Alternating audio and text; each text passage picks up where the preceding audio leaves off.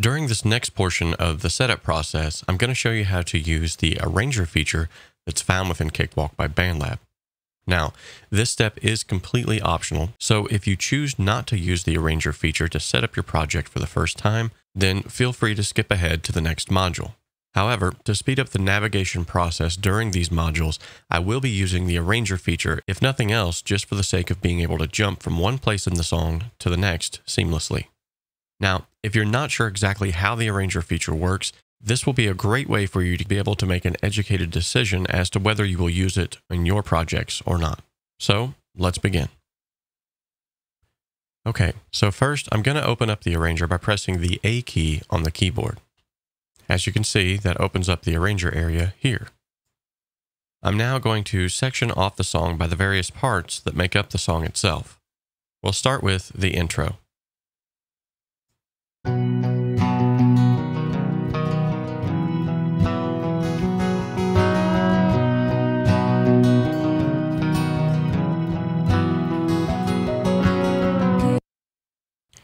Okay, so just as the vocal begins is where I'm going to call that the first verse. So everything before this is going to be considered the intro.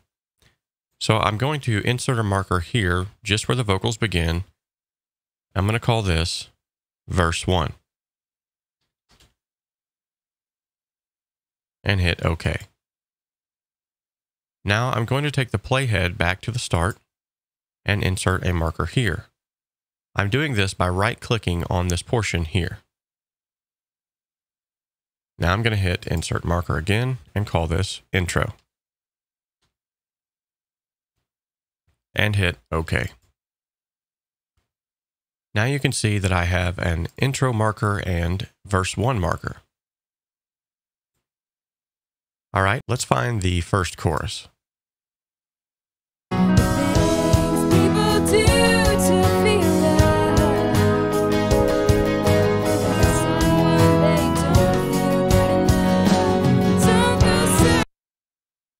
Okay, I'm going to call this chorus one. Insert my marker here.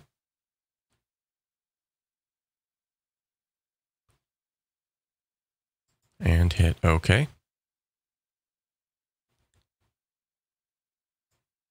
And I'm assuming this is going to be the beginning of verse 2.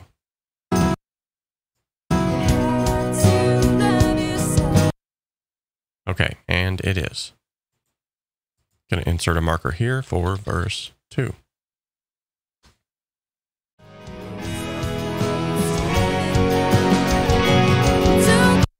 All right, looks like I found chorus 2.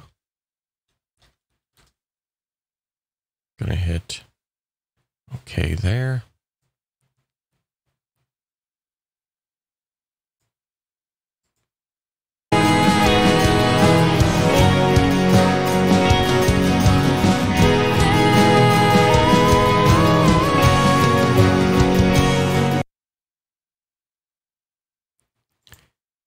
Okay, I'm going to insert the marker here. This is going to be chorus three and outro.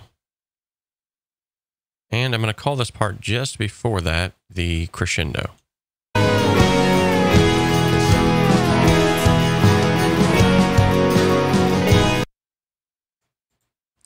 All right, this portion here is going to be called crescendo. Okay, now using my markers tab up top, I can go to any one of these markers at any given time here. So this is one way that I could jump back and forth between the project very quickly without having to use the Arranger feature at all. By creating these markers, it not only allows me to seamlessly move back and forth between different areas of the project, but it also allows for a more organized and cohesive project altogether. And this would become especially useful if I was collaborating with this project with other individuals. Okay, so now that we have our markers in place, this is going to be the quickest way to use the Arranger feature that's found within Cakewalk by BandLab. So the first thing that I'm going to do is hold Control and A. This is going to select all the tracks within the project. Then by right-clicking in this ruler portion up here, I'm going to create sections from the markers. These are the markers that we just created in this last portion of the video. As you can see now, all of the arranger sections have been automatically added based off of the markers and where we place them at.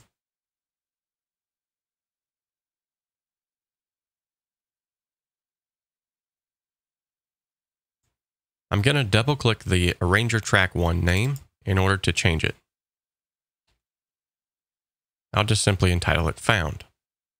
Now, the reason why I'm able to change the name on this portion of the arranger track is because I can create more than one arrangement within the same project and switch seamlessly back and forth between the various arrangement options. We're going to click on the A over here to show or hide the arranger. And as you can see here, here's a breakdown of all of the areas right here. Each one of these areas can be recolored, renamed, duplicated, or even deleted from here. The upper portion of this are the sections of the arrangement. So this right here would be the main arrangement as it stands now. However, I can drag portions of this down to the arrangement section here and create different arrangements based off of how I drag those sections. These new arrangements can then be renamed as something different.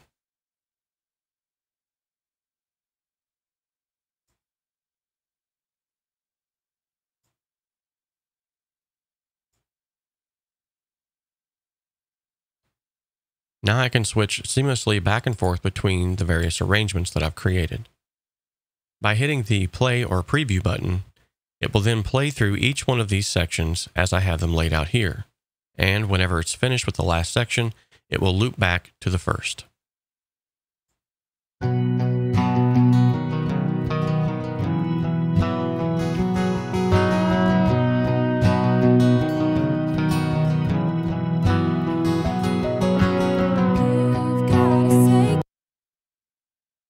Now let's take a listen to arrangement two.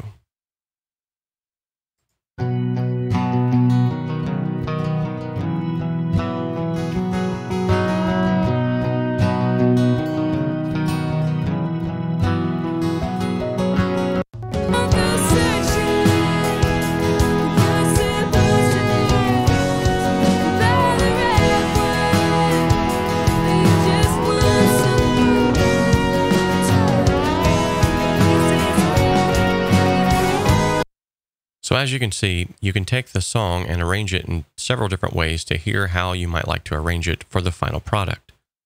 Now, if at any time you would like to delete one of the arrangements that you've created, you can simply click the drop-down box here and go to Delete. The small button on the left will add all selections to the arrangement. So if I was to click this and hold Control and click several at once, I can then add all of them at once to this arrangement section. Likewise, on the right-hand side, if I was to hit Commit Arrangement to Project, all of the changes that have been made in Arrangement 2 would then be committed to the project itself, and everything on the project would change based off of how the arrangement section was laid out. As covered before, you can also preview the arrangement from here, and it even tells you the entire length of this current arrangement here. For this current arrangement, it's 3 minutes and 24 seconds. Contained within the small drop-down box here are several other options as well. You can rename this arrangement, create a new one, duplicate it, delete it, save this as an arranger template, make a new arrangement from this template, or even export the audio that is contained within this arrangement section. Now, if I was to choose export audio, the export audio dialog box is going to come up and it's immediately going to be set to the bounce settings of tracks. So it's going to export them as multi-tracks. For now, I'm going to go ahead and delete the arrangement sections as it's already arranged pretty much in the way that I would like for it to be. However, this upper portion is going to help me to go seamlessly back and forth between one portion of the project and another. Say, for instance, if I wanted to go from the intro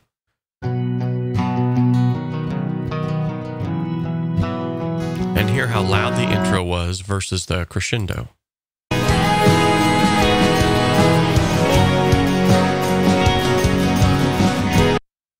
Then I can seamlessly jump back and forth between the two and do some quick checks of the dynamics of the song.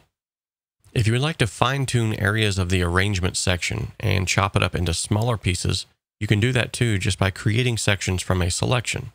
For instance, if I wanted just this section here to be part of the arranger section so that I could jump back and forth between it seamlessly, Or if I was working in loop-based material and maybe this was a portion of a sample that I would like to use in other places, I can simply highlight it here and then up at the top, create a section from the selection. Now that the section has been created, I can literally move this anywhere within the project.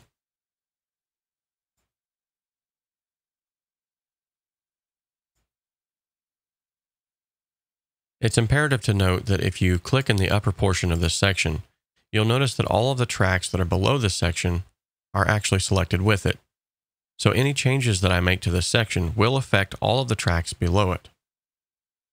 So if I want to shorten or elongate that particular arrangement section, I need to make sure that I click it again so that everything below it is not highlighted. Now I can click and drag that section anywhere I would like without causing any destructive editing to take place. All right, so with just a little bit of time and preparation, we now have a bird's eye view, a great overlook of the entire project as it stands.